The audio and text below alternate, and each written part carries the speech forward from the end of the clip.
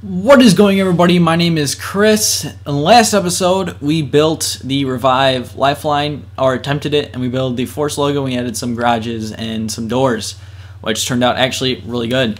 And uh, yeah, so pretty much this episode, uh, what I have planned is to make some of the ramps and um, just a few extra little details, and then we'll get more into the other stuff, which some people don't care about. But yeah, if you want to see the other previous three episodes, I'll put a playlist in the description. And then if you're having trouble with the merge glitch, well, not having trouble, but pretty much to you know move the put the objects that I'm putting into each other, you gotta do this glitch, which I'll put a link down below in the description. And uh, yeah, let's just get right into it. So we have this thing right here, which obviously you can see the brick, but I'm going to delete this one. And this will be something that, again, will just be kind of like there. And um, I'm just flipping it and moving it down, and you know, it kind of solves that problem because it's kind of just white up here. And that'll be something, again, we'll look in a later sewed. And um, you know what, uh, actually we'll do right now, we're going to copy and paste this one. And we're kind of just making it give the illusion that there's no wave there which is, can you see that? I don't know. I can't really see a glitch. Let me look. Let me skate around. Yeah, you can, so that's not cool. But uh, then what we're going to want to do then is make sure we have snapping off, let it go, and just move it over a tad bit. There we go. Sweet. So now it kind of looks like an actual box, and that thing can stay there. So the first thing we're going to be doing is the jump ramp which is going to be very easy to make. And let me just look at a screenshot of it real quick as you guys sit there. Okay, it's, yeah. So I can't make the ramp look 110% exactly like the, you know, the ramp that's actually there in real life, unfortunately, but, you know, I'm going to do as best as possible. But all we have is just this jump ramp. And you know, this will be something where more just like, again, you can just kind of customize it yourself. But I'm doing it the way I want to do it. And uh, yeah. So we got the we got this jump ramp going on right about here. Let's see, I'd say it's about I want to say two, two. Even though it seems a lot smaller, but I feel like that's all it is. And uh, it's definitely a little bit more angled and a little bit shorter for sure. It's like something like that. Let's just skate it real quick. And then I think all I'm going to do is just put some stuff on the side to make it not like that. Yep, actually it's like pretty much perfect. Um, so the next thing we're going to be doing, um, that was angling it very nice. We're going to go to style, make it factory, and then pretty much this just kind of gives it, not, I wouldn't say necessarily totally like a wood look, but it looks a lot better than having that black on the side. And this we can, um, again, it can just stay the same color. And uh, what we got to do actually is fill in the sides of it. So um, what I'm to do then is just copy and paste this because the sides of the ramp, there's actually like a hole in, on the bottom, but yeah. So let me see here. Just trying to merge this in a little bit better. Like so, and I'm pretty stoked on that. I'm just to leave that the way it is. Let's see it. And add like the, uh, you know, the thing to keep it very nice. Ooh, that looked really cool. All right, cool. So now all we got to do is add the, uh, you know, I don't know what it's called, honestly. It's kind of like making me mad. I know what it's called, like the, you know, this thingy where you're, the metal. I don't know.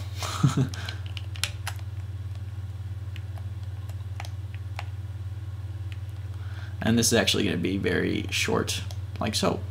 And again, I'm just testing out just to make sure that the ramp skates good because that's what we want.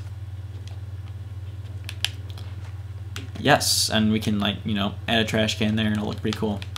Next thing we do is the box, which unfortunately, I actually do know somebody who made a box similar to this that looked exactly like it. It was ridiculous, but I don't know how to do that.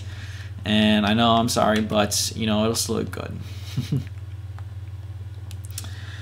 um, let me, I'm just trying to figure out. I don't even think I'm to add any coping to it because I don't think it's necessary. I mean, it'll look nice, but it won't skate as well, and I want it to be. i would rather have it be more functional than look identical to it, if that makes sense. And let's see, is that a good size? And then we'll probably just, I don't know, same thing, just kind of make the sides look not as crappy. I feel like that size is pretty good. Actually, yeah, well, I'll just do that. And this one I'm just going to kind of copy, well, not, we'll do the thing over here. Um, so I'm just actually just going to take um, since that's a pad, we're actually going to use the half width pad. and place one in like so where it's kind of like lined up and as you can see these sides like don't intersect with your with each other which means like they don't um, i'm trying to think how to word it but so pretty much just grab this object and then grab one of the uh, half width pads turn it sideways make sure you can grab it like so. And then what we're going to do is try to grab both like this and um, we're just going to kind of lift it out of the park so we can edit it a little bit better. And take it on flip it so it's like on this axis so pretty much you're just kind of like moving it like this. And we're just gonna merge it so it's uh, right about here. And actually kind of get, we'll give the illusion that there's actually coping but in the reality there actually isn't. It's just for looks but it actually it will look good though all right there we go we got that measured and this pretty much just keeps it so like so if I'm here I'm not gonna actually do it but if we move this over as you can see that side it's out but this side it isn't and just it won't look good Yes, I look good. So, um, maybe up a little bit. There we go. Well, I'm trying to make this look. Oh, there we go. It actually looks really good.